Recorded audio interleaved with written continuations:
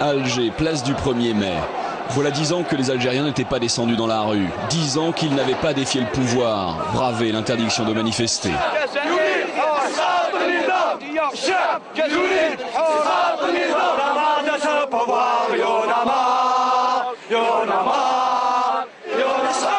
Les rassemblements ont lieu le samedi, des milliers de policiers anti-émeutes déployés. Le face-à-face est tendu. À chaque fois, matraque et bouclier pour réprimer des manifestants qui aspirent à la liberté.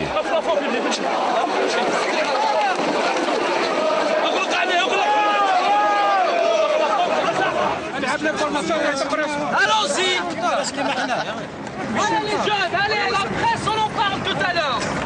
On va retrouver les autres déjà Abdou est un blogueur de 27 ans, jeune cadre et pourtant l'un des leaders de la contestation. Il veut une deuxième république, un changement complet de régime. Abdou n'est pas venu seul à la manif. Il est accompagné par quelques militants interpellés les uns après les autres.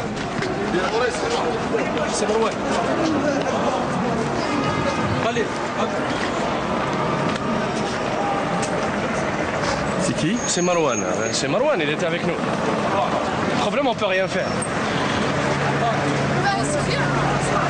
Appelle Karim, appelle Karim tout de suite. Alfdo Marwan. Toi tu te calmes, toi tu te calmes. Ils nous ont frappés. Oh, l'assemblement tout mal à pompe à essence. C'est pour ce drapeau qu'on se bat. C'est pour celui-là.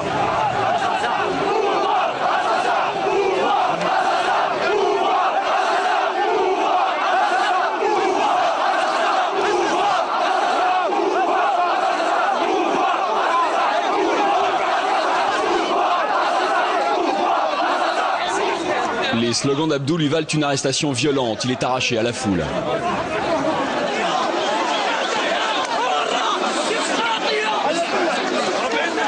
Bouteflika, il faut qu'il parte. Parce que lui, avec tout, avec toute son équipe, c'est un pays de voyous, c'est un pays de voleurs. Le pays, ils l'ont volé. Le pays, ils l'ont volé. C'est un pays riche. Il y a un peuple pauvre. Il y a des vieilles femmes qui ramassent les ordures.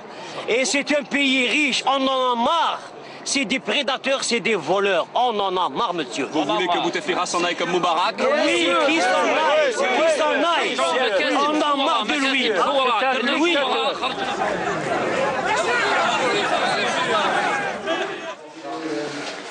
Après 6 heures passées au commissariat, l'interrogatoire a été long mais sans violence. Abdou rejoint un local dans le centre d'Alger. Nous sommes dans son quartier général. Ça y est, c'est bon, ouais. On a été arrêté parce qu'on revendiquait la liberté, parce qu'on revendiquait la démocratie. Donc je crois que ça, pour ça, même si on donnera nos vies, je crois que la fierté sera toujours là et on est fiers. Ça c'est clair. C'est dans ce lieu qu'Abdou, Soufiane et Marwan se réunissent de manière informelle pour organiser leurs actions.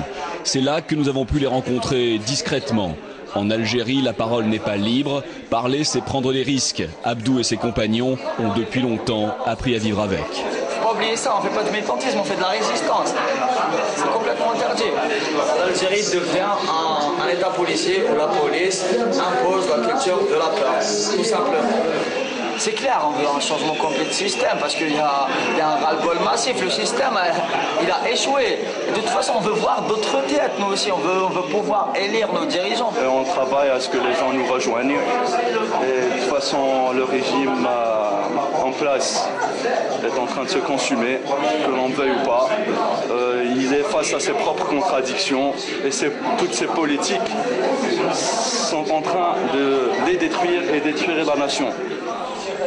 Ces jeunes militants font partie de la coordination nationale pour le changement démocratique, un mouvement hétéroclite de syndicats autonomes, d'associations, de partis politiques. Le président de la Ligue des droits de l'homme en est l'une des figures. Cet avocat veut croire à un soulèvement pacifique emmené par la jeune génération.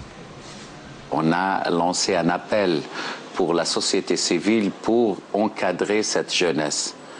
Cette jeunesse qui est le fruit de l'état d'urgence, le fruit de la violence qui a sévi en Algérie. Je pense une révolution, un changement doit être mené par les jeunes Algériens. Un changement radical, sauf qu'à Alger, on est bien loin de l'atmosphère insurrectionnelle du Caire. Bab el l'un des quartiers populaires de la capitale. Les jours de manif, tout est normal. Ici, personne n'a oublié la révolution avortée de 1988, les 200 000 morts de la décennie noire du terrorisme. De plus, le Front des forces socialistes, principal parti d'opposition, se tient à l'écart des rassemblements. Moi, je pense que le FFS ne participe pas aux marches parce que le peuple aussi ne, participe pas aux marches. Qu'il est possible de changer les choses, mais qu'il est possible de les changer d'une manière pacifique et que la logique de la confrontation fait remonter dans la tête de chaque Algérien les vieux souvenirs de la violence, de la destruction. Et la preuve, vous l'avez vu sur le terrain, que la mobilisation était, euh, très très minime, très très insignifiante par rapport à l'envie euh, des Algériens d'aller vers le changement, par rapport à la révolte qui existe dans le cœur de chaque Algérien. Pour prendre le pouls de la contestation, nous partons en Kabylie.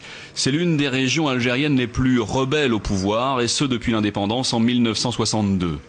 Akabiou, petit village accroché à la montagne. Il est 9h du matin. Un groupe de jeunes a décidé de s'exprimer librement devant notre caméra. En général, la peur du régime est plus forte que la haine qu'il inspire. Pas ici. Nous entrons dans ce café où la majorité des clients est jeune et au chômage. Non, moi je ne travaille pas. Nous, là, on vient, on boit du café, c'est tout. Un café, un cigarette. Comme d'habitude. Tous les jours, on passe la journée avec un café. 70% de la population algérienne a moins de 30 ans. Officiellement, un jeune sur quatre est au chômage, c'est bien loin de la réalité.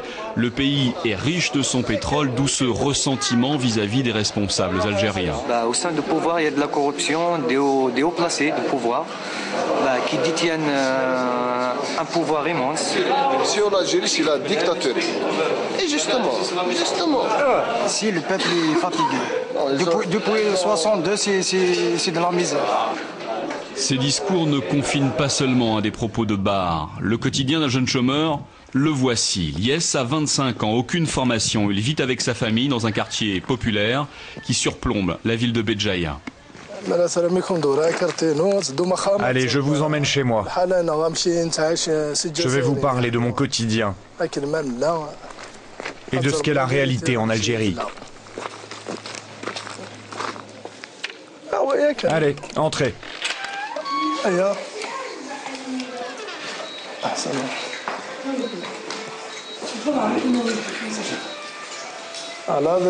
Là, c'est ma mère, ma sœur et ma fille.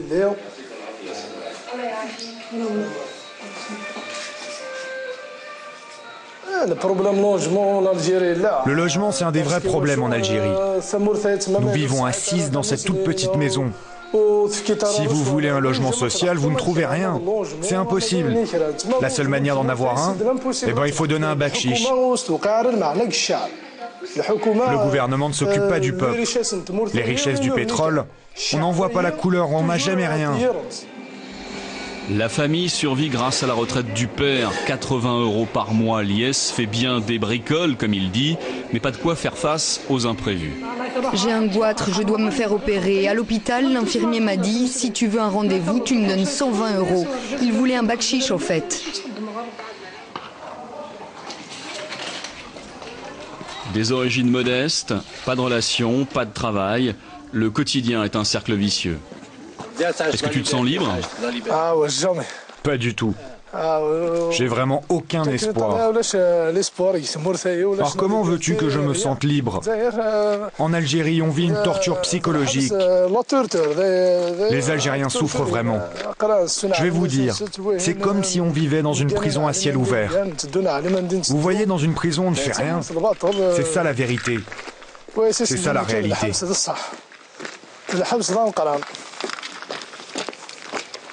Dans le quartier, tous les copains de l'IS sont au chômage. Le plus souvent, ils prennent la pause le long des murs. Des muristes, c'est comme ça que les Algériens les ont surnommés. Depuis le début de l'année, le désespoir et la misère ont poussé une quinzaine de personnes à tenter de se suicider par le feu. Quatre sont déjà mortes. Medjana, petite ville située à 250 km à l'est d'Alger. C'est sur ce terrain vague qu'Abdelhafid, 25 ans, s'immole le 28 janvier dernier. Son frère aîné, contre l'avis de son père, a accepté de témoigner. Yacine nous emmène dans un endroit discret, loin de son village. Il veut rendre un dernier hommage à son frère cadet. Je suis complètement effondré. Je ne pensais pas que mon frère pouvait s'immoler. Abdelhafid ne m'a jamais vraiment parlé de ses problèmes. Il gardait tout dans son cœur. Ne travaillait pas, comme moi d'ailleurs et mes quatre autres frères. Mon père est au chômage. Nous vivons à huit dans la pièce d'une maison. On n'a aucun droit dans ce pays.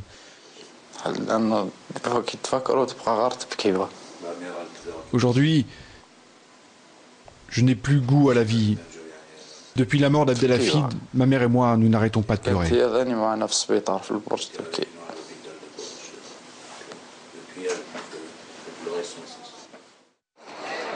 Dans les rues d'Alger, l'espoir d'une révolution est dans toutes les têtes. Les aspirations du peuple algérien sont les mêmes que partout ailleurs dans le monde arabe, du travail et plus de liberté. Les services de sécurité, l'armée et le président Abdelaziz Bouteflika continuent aujourd'hui de verrouiller le système. Ils restent sourds aux revendications d'une grande majorité de la population.